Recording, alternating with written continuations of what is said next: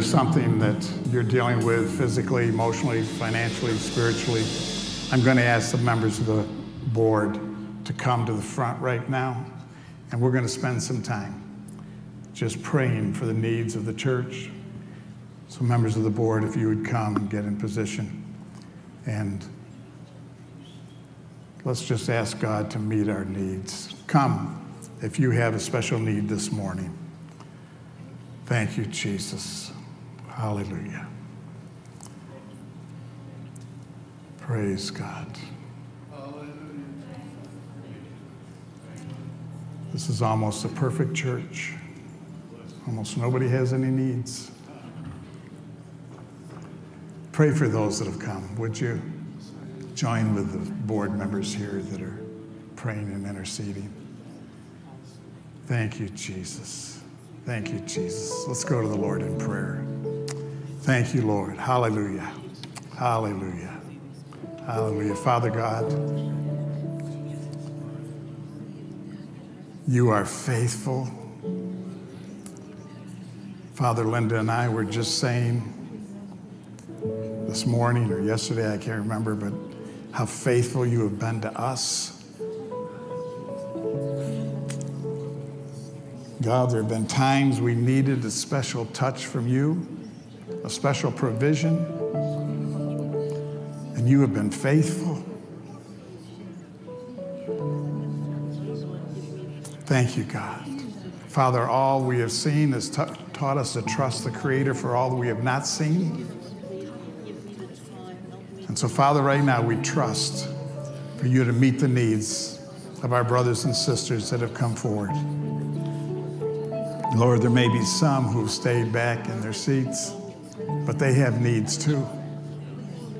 Father, we pray for them.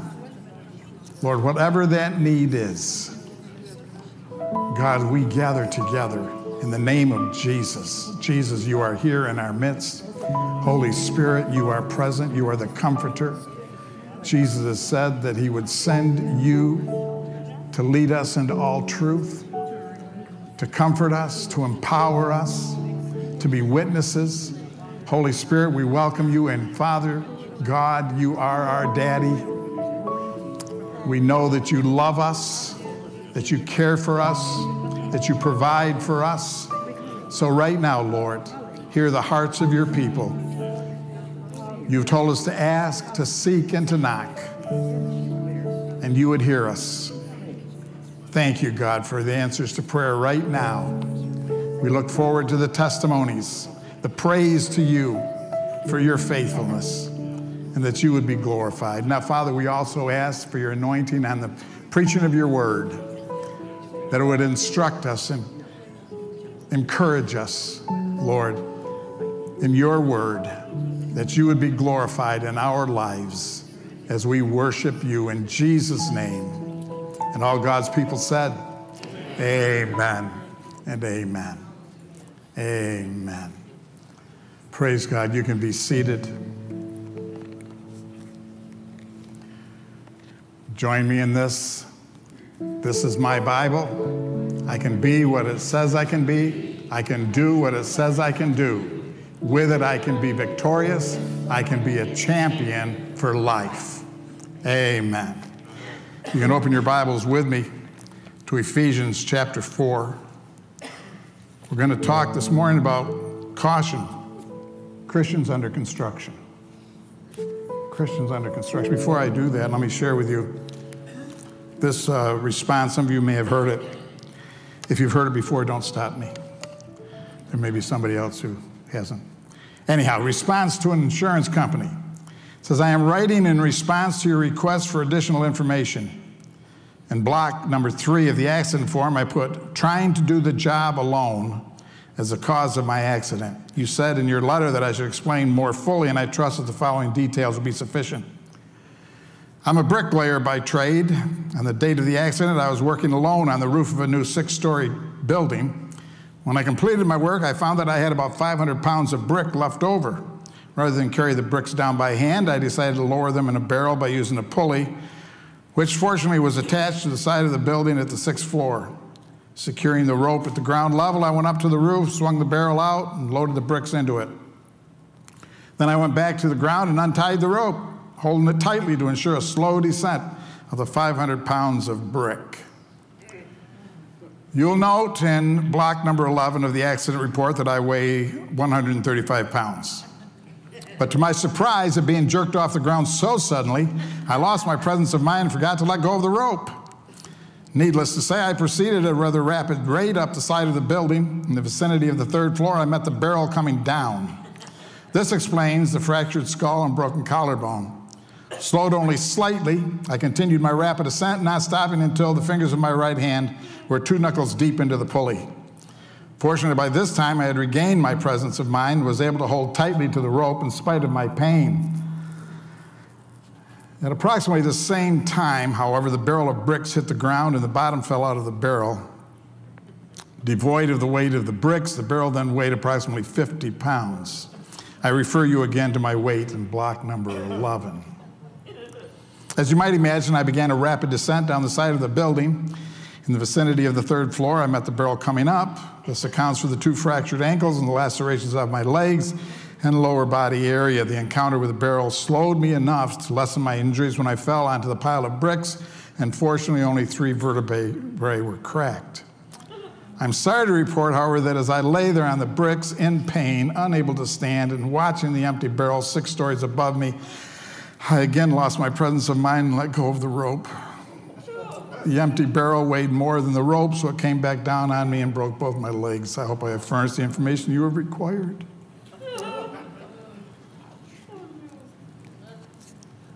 Why do I share that silly story? Because every church is a construction site. Jesus is building his church. He's building church, this church, but we're building people up. Most construction sites are hard hat areas. It's easy to get hurt if you're not careful. That's why we have the instructions of Ephesians 4 1 through 3 and verse 29. As a prisoner for the Lord, then, I urge you to live a life worthy of the calling you have received. Haven't we received a great calling? So we're called to live a life worthy of it. And that includes this be completely humble and gentle, be patient bearing with one another in love. Bearing with one another. What in the world? Bearing with, we're all Christians here. Of course, we love each other. We're all just like Jesus. We have Jesus in our hearts, in our minds. We want to glorify God in everything we say and do. Why would it be hard to bear with one another? We need instructions from Paul on this. Make every effort to keep the unity of the Spirit through the bond of peace. Then, over in verse 29, he summarizes with this Do not let any unwholesome talk come out of your mouths, but only what is helpful for building others up according to their needs, so that it may benefit those who listen. No unwholesome talk coming out of your mouth, but only what is necessary to build people up Anybody ever been hurt in church? You ever heard of anybody that was hurt in church? You ever hear over and over and over again about people being hurt in church? How in the world do people get hurt in church? Bunch of Christians all coming together to praise the Lord and have a great time together, celebrate God's love. And people get hurt?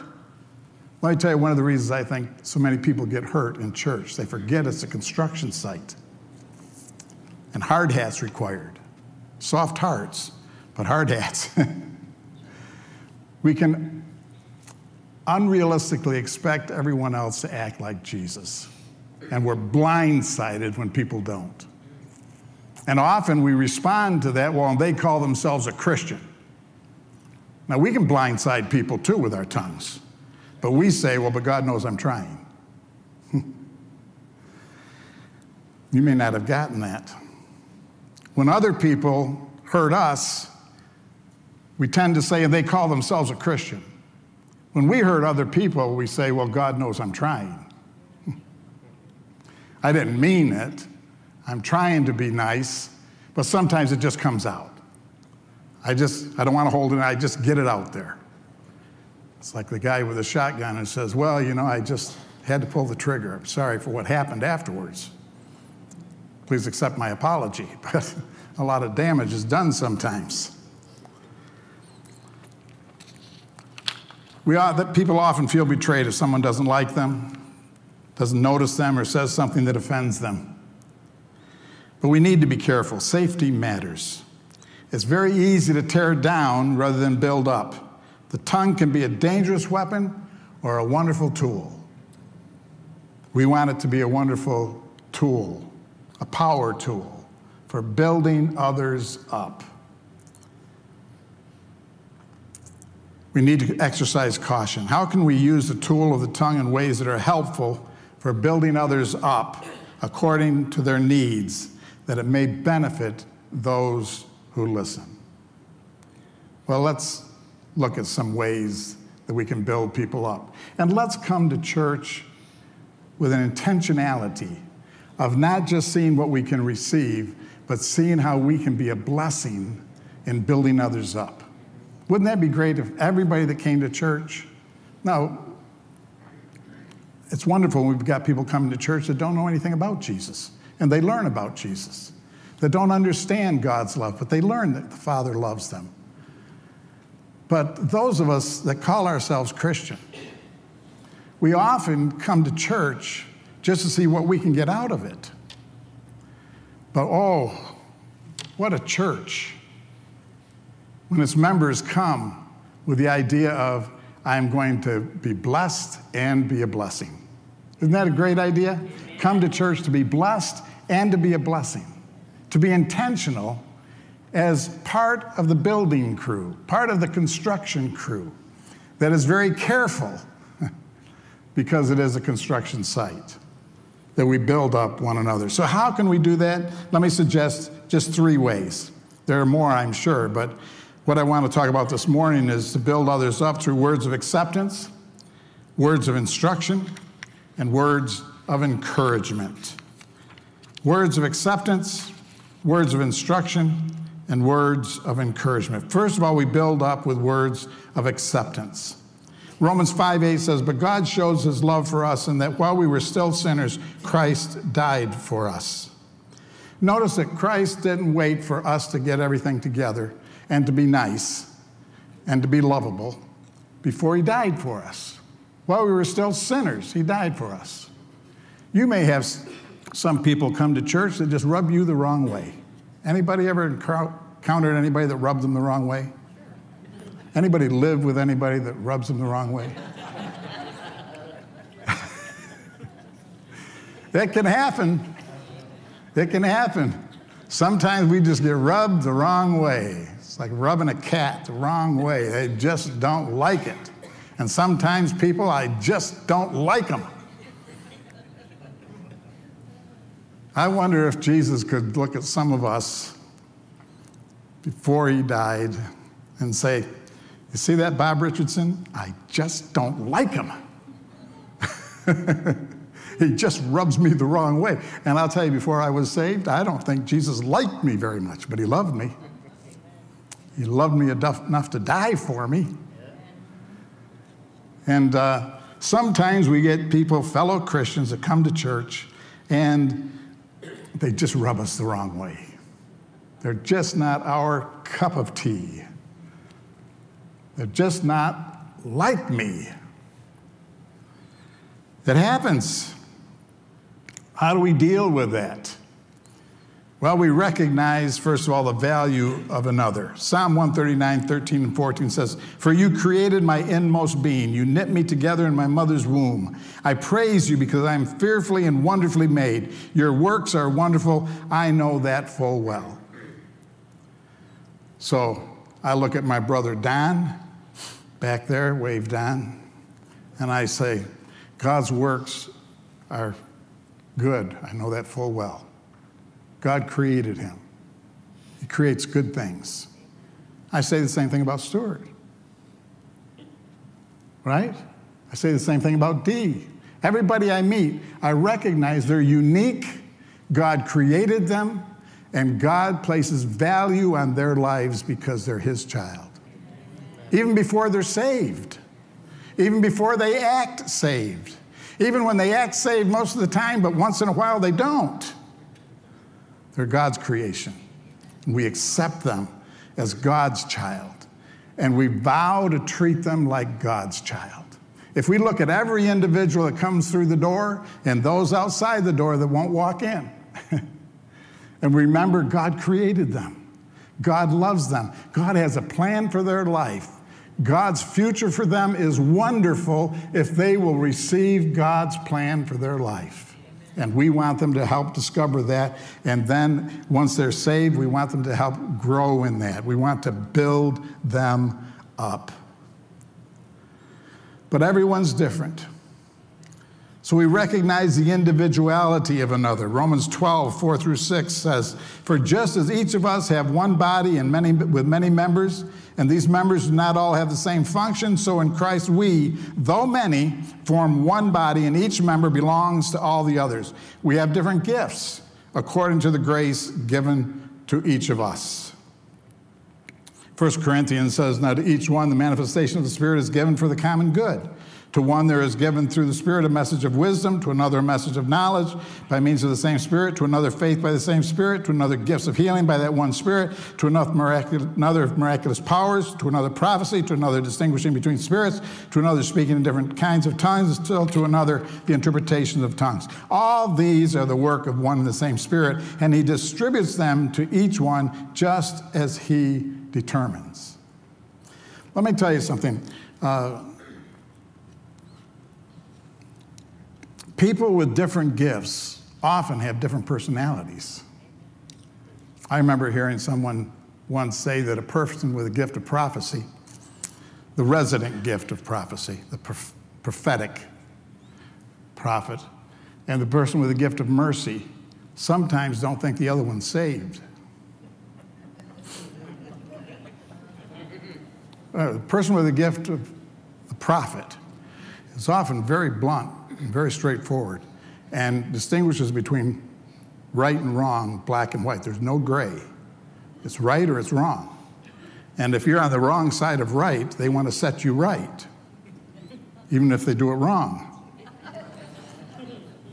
And so they can come across as unloving, uncaring, insensitive when all they're doing is trying to be faithful to God and help build you up. But it sure doesn't feel that way sometimes, especially the person with a gift of mercy who wants to just let them feel good, wants to help them, wants to bless them, doesn't want to hurt them, very aware of the sensitivity of another person's feelings. And the person that has the prophetic gift sometimes feels the person with the gift of mercy is just compromising, wishy washy, doesn't really stand for anything. And the person with the gift of mercy feels the gift of the prophet is unloving, uncaring, and insensitive.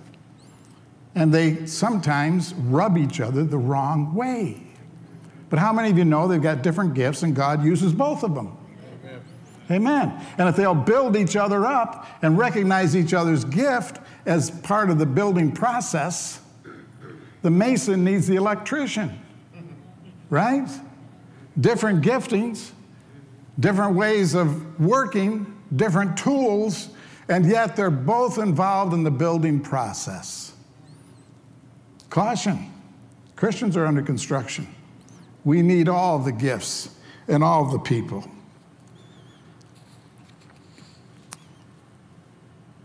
Therefore, Romans 14, 19, and 15, 1 and 2 say, let us therefore make every effort to do what leads to peace and to mutual edification. We who are strong ought to bear with the failings of the weak and not to please ourselves. Each of us should please our neighbors for their good, to build them up. If we come to church with intentionality, then we recognize that others there are trying to build up as well. And we also recognize that none of us are perfect at it. And the different gifts have different personalities. Some of our individuality is in our personality, some is in our past experiences, some in our length of being saved, and some in our unique giftings. So acceptance is not on the condition that people change, but that God will be changing them. I love the quote from Leighton Ford, Billy Graham's brother in law. who said that God loves us just the way we are, but He loves us too much to leave us that way. Aren't you glad that God wants us to grow? Wants us to become more like His Son. So we recognize that, but we greet people and we see people and we say, I see you. I value you. I know God has great plans for you. Let me give a practical idea about how this can work. Any of you ever been a visitor to church? I know some of you have. You are today. A visitor to church.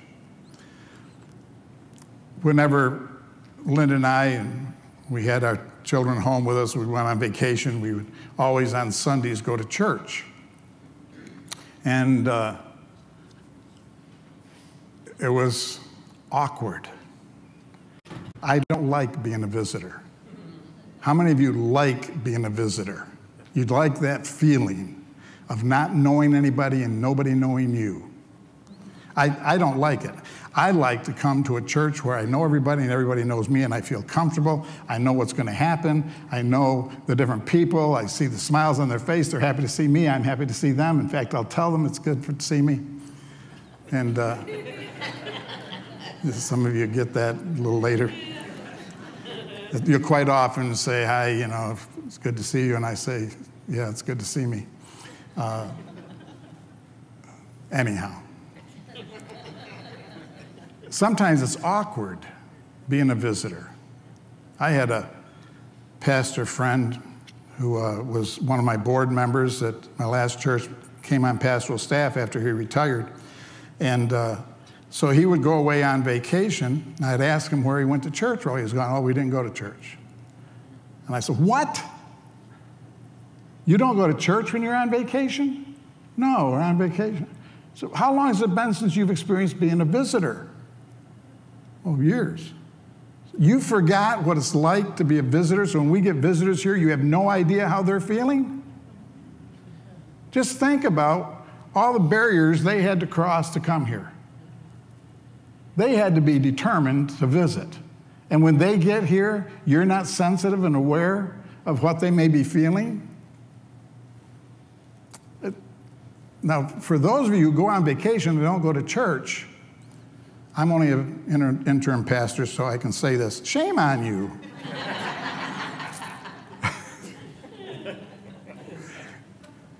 we need to experience that. So we're sensitive to. We have several visitors here this morning. I've met some of you. And I want you to know we're happy you're here. We want you to feel like you're welcome, that you, we value you. You're a child of God and He has great plans for you. I, I hope that when you come here, you feel that, that that is encouraging you. You're built up in your relationship with God because of the welcome you receive here. So when we come with intentionality, we realize there are different people here we know that may sometimes rub us the wrong way. There are people here we know that we just fit right in with them, and they have great personalities that respond to our personalities, and we get along great. But we don't just spend time talking to the ones we get along great with, because the ones that we sometimes rub the wrong way are also valued children of God and need to know that we accept them for who they are and right the way they are, even if we do pray that God is changing them. And sometimes in those prayers, God says, What about you? Maybe they're not the ones who need to change so much. Am I making sense? It's a construction site. It can get dangerous. People can get hurt. But if we're aware of that, we're doing our best to let people know that we see them, we value them, and we believe God has great plans for them. So we use our tongue to convey those, that information. And right in front of our tongue is a smile. That can say a lot before the tongue starts speaking. But let's move on. We build up with words of instruction. We all need to grow in knowledge and grace, and instruction comes from the Lord, but usually through people. Let me suggest some ways that we recognize instruction from the Lord through people. Let's start with the Bible. Right? This is my Bible. I can be what it says I can be. I can do what it says I can do with it. I can be victorious. I can be a champion for Christ. We know that. But we think about the fact God used people to write this. So, through people inspired of God from ages ago, He gave us instructions. Instructions about who He is, what He expects from us, what He has promises to do for us. The Bible is a word of instruction. 2 Timothy 3:16 says all scripture is God-breathed and is useful for teaching, rebuking, correcting and training in righteousness. How many of you believe that sounds like a building program? We need instruction. Uh, we accept people the way they are, believing that God will be changing them just as He's changing me. We need to accept ourselves, by the way, where we're at, believing that God is changing us and building us and creating in us more and more of the image of Christ. But I remember one time telling a, a young girl that was having a bit of a fit on a Sunday night service, and uh, I had to tell her, you know, you are welcome here. We would love to have you be here, but the attitude has got to go. If you'd prefer the attitude to our friendship, then you have to leave with the attitude, but the attitude's got to go. Does that make sense? Mm-hmm. We love people, we accept people if there's certain behaviors that are unacceptable. Doesn't mean we don't accept them, love them, value them, believe God has a plan for their life, but sometimes people need some instruction. And we need to be careful about how we instruct. So we refer to God's Word, first of all. Read the Bible. That was one of the focuses of my ministry. It has been a focus of Pastor Phil's ministry when he's here with us, was be in the Word yourself. Know God's Word. It is instruction and it is life, it says. It blesses us. It tells us how God wants us to live. And why does God want us to live? Because He loves us. He wants us to obey His, his precepts. He wants us to find wisdom. Now, I know there are people that pick and choose. They only obey the parts that they agree with or understand.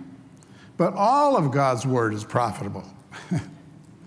So those who truly prosper are those who obey what they don't understand because it's God's word. And we need instruction.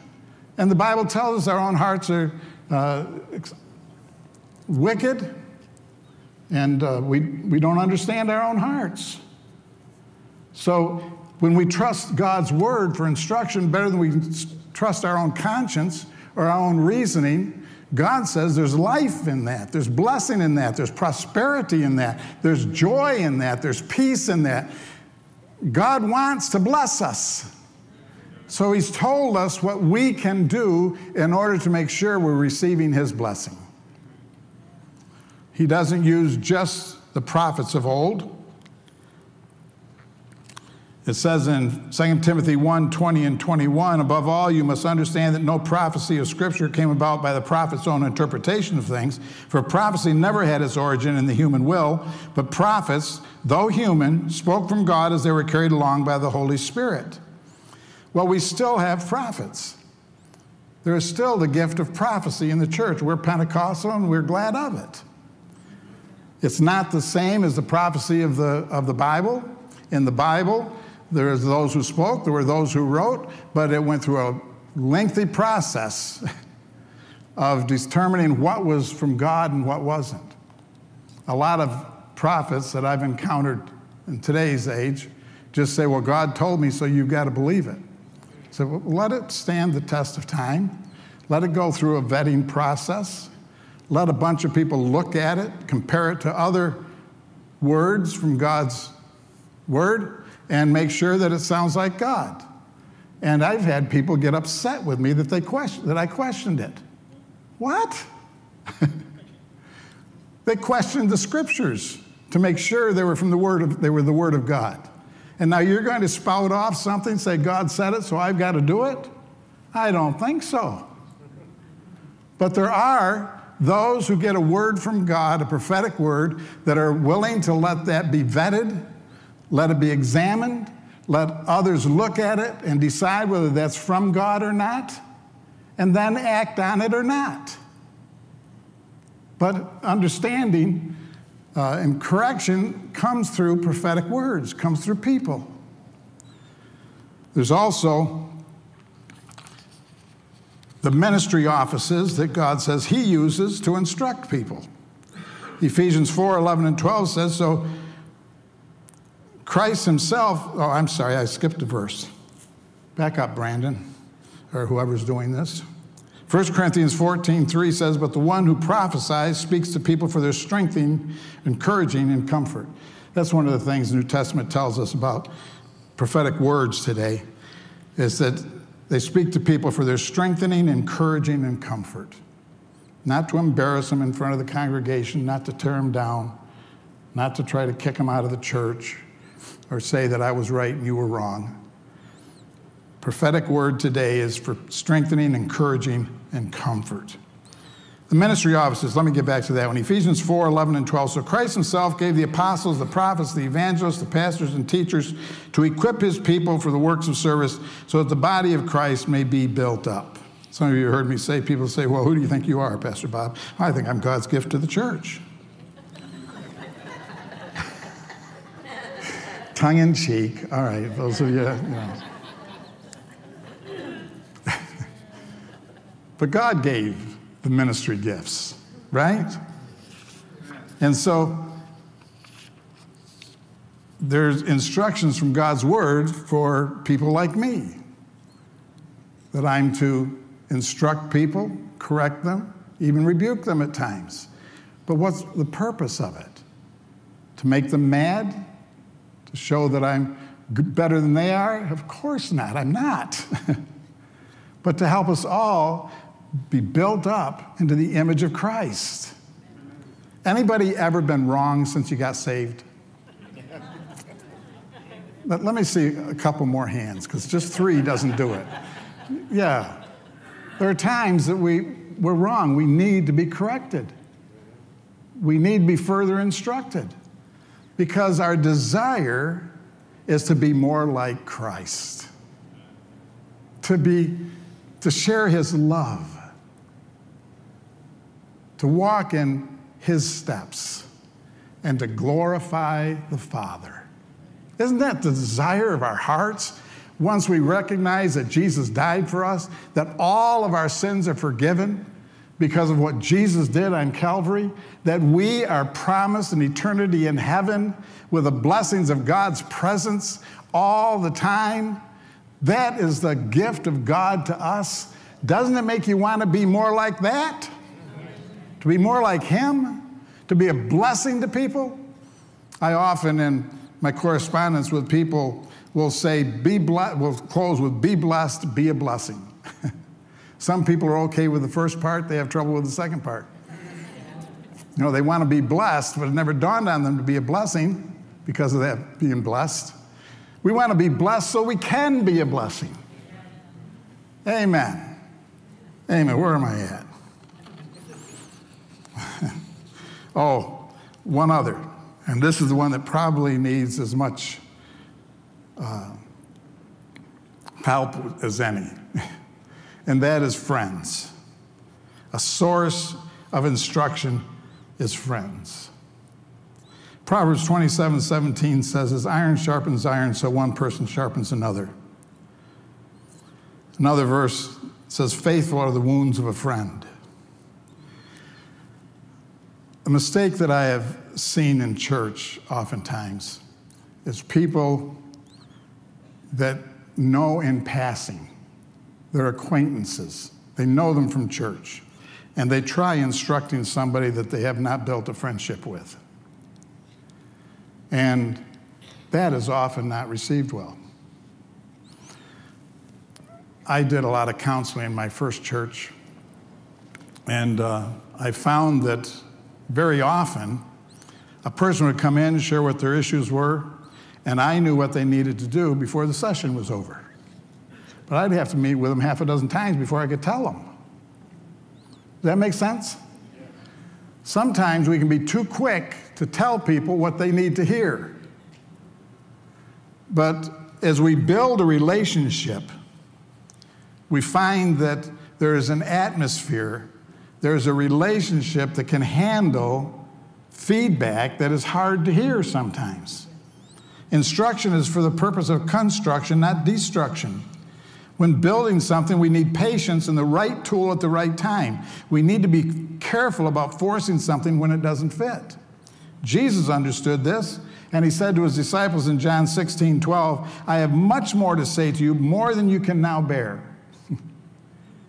Jesus re- realized that, that there is a, a timing factor in telling people what they need to hear.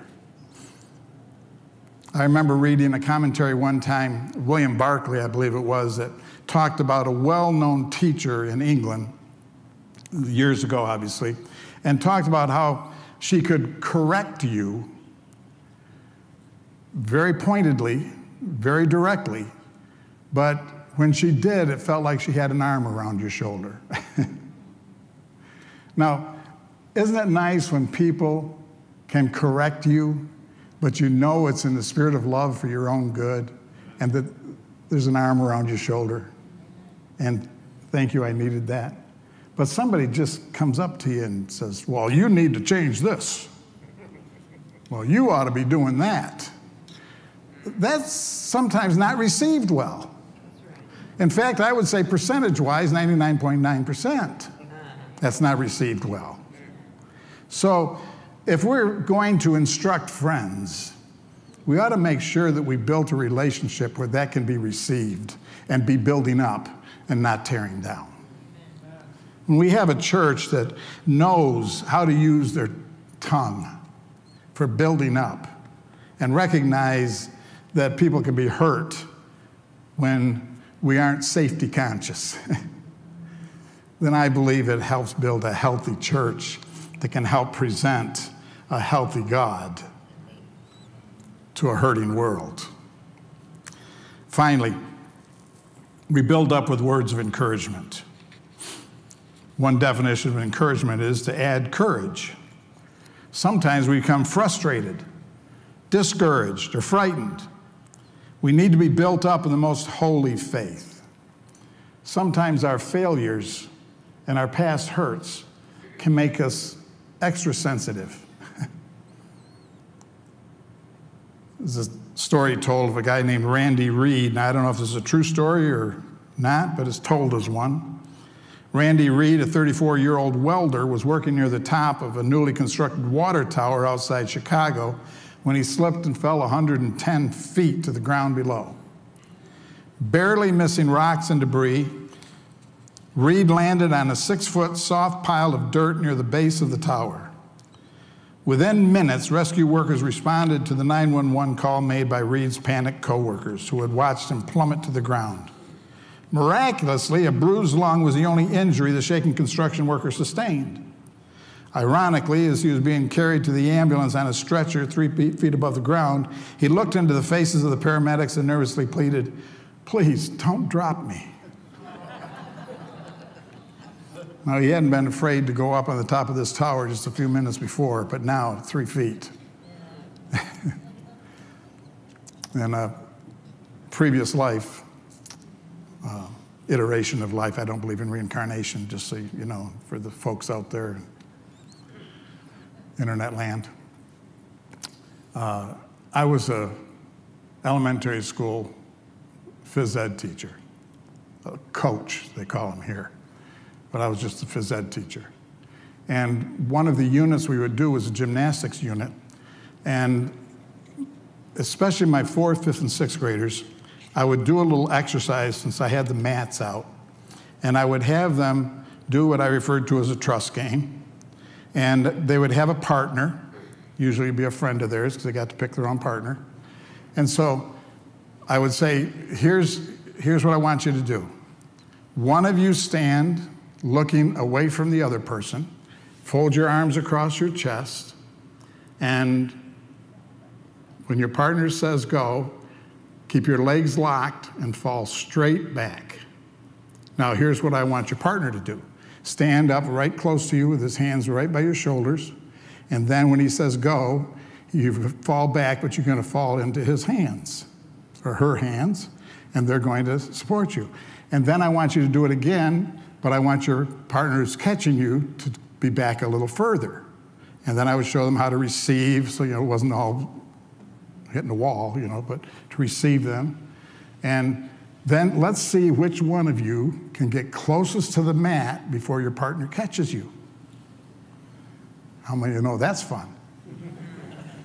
It was fun to watch because some kids, they would just boom, go back.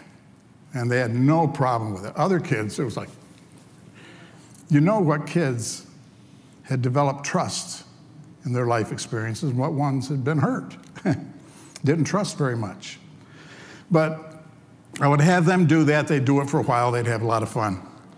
And then I would sit them all down and I would ask them, uh, now, what would happen if you did that? You built up a lot of trust. You were way, way down before you caught the person, but you did a good job catching them. And then you told them to do it again, but this time you decided you play a trick on them. Instead of catching them, you would just stand back. Wham! Now, they're falling back far enough now they can't catch themselves. You know, if it's just here, they can catch themselves and they'll be all right. But if they've learned to really trust, to trust you, and they fall way back, now if you don't catch them, they can't catch themselves. And what do you think is going to happen? Do you think you can say, I was just teasing, let's do it again, and they're going to trust you now? You've got to reestablish trust now. It's going to take longer than it did the first time you did it. And I would talk to them about secrets shared with them. That they had a friend and the friend shared a secret with them. And then out on the playground, you decided to tell everybody the secret and laugh at your friend and have everybody else laugh at them. Or you got mad at them. So you told, I'm going to tell everybody what you told me. You think they're going to trust you the next day because you said, I'm sorry? Folks, we have people coming to church that have been hurt. They have trusted parents, spouses, co-workers, pastors, friends at church, and they have been dropped. And it hurt. And then you expect them to come to church and say, Oh, trust me. Why? You have to build trust. You have to put courage back into them. And it takes time. It takes patience. It takes love. It takes gentleness. People come needing to be built up. It takes courage to be what we're called to be.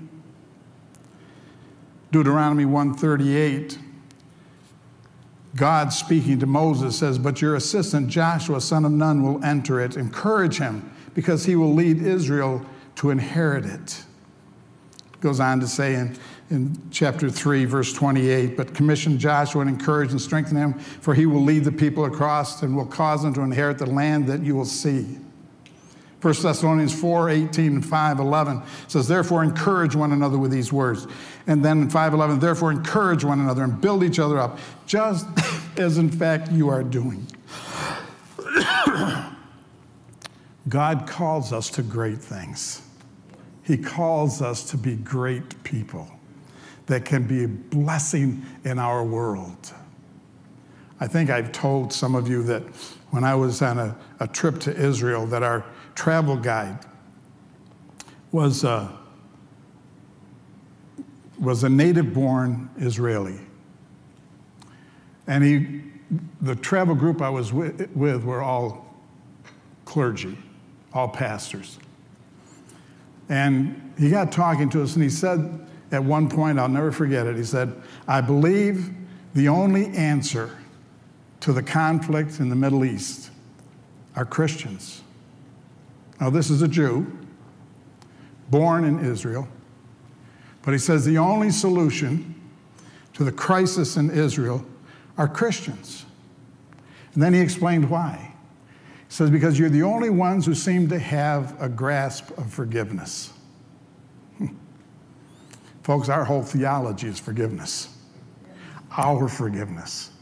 God forgave us. We know what Israel is going through right now. We know what Palestine is going through. We know what the conflict between Jews and Muslims is. And we're to be the solution. And how are we going to be the solution if we can't get along with each other? If we can't build up each other, if we tear down each other? It'll never work. How can we be a solution to those in our own neighborhoods, our own schools, our own offices, our own workplaces, in our own city? How can we be a solution unless we know how to build up one another? And we leave here every Sunday morning encouraged because we have been to church and we have been built up in the most holy faith. That's what God wants. That's what Jesus is building in his church. The tongue is a mighty force. We can use it to tear down or to build up. Now, let me conclude with this.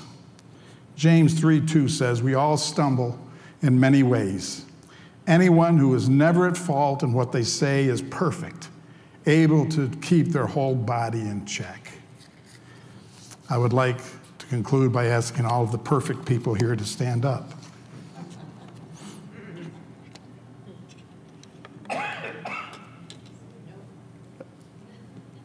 I, maybe you didn't hear me. All of the perfect people as we dismiss, would you please stand up? Yeah, what's my point? None of us do this perfectly. We have all said and done things. I have said and done things that have torn down and not built up.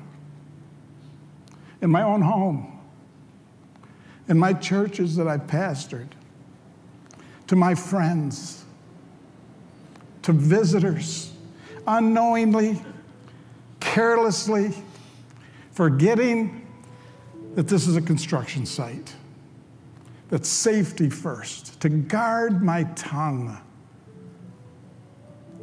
to value people, to instruct them with gentleness and kindness and truth from God's word in a spirit of love and to encourage them because life is hard. Being like Jesus is work. We all struggle with it. He calls us to great things, and we say, I don't know if I can do that. I can't be that. we come to church, we need to be built up. We need to be builders. Here I am, Bob the Builder. Can we build it? Yes, we can.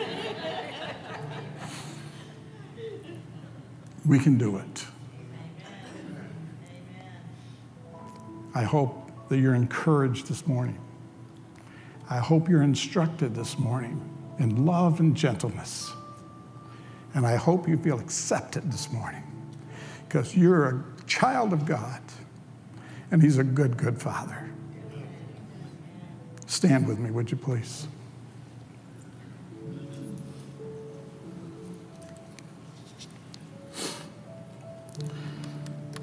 Just take a moment to ask God to seal to your heart what you need from this message.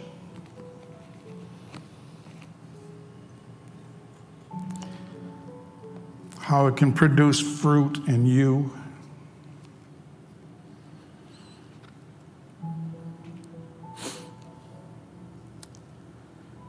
Thank you, Jesus.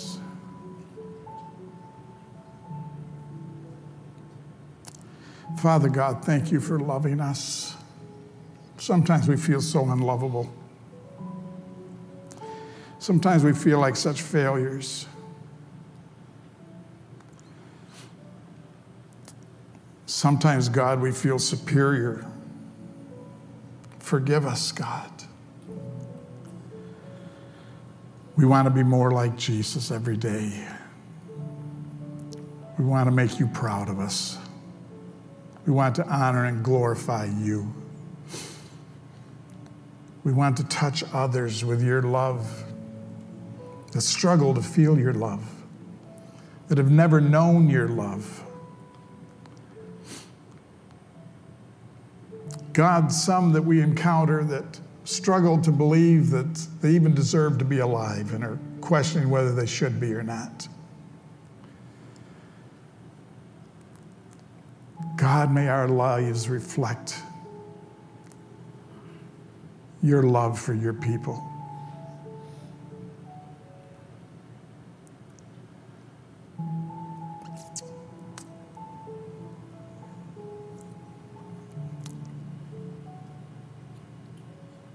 Thank you, God, that you have promised to use us to build others up. We submit our lives to you as instruments of your peace. This is our reasonable service of worship. So we leave this worship service to be worshipers this week and glorify your name. Now, Father, bless my brothers and sisters. Bless them, God, with all spiritual blessings. Provide for every need so they can be a witness of your love and your goodness, of your promises, of your faithfulness.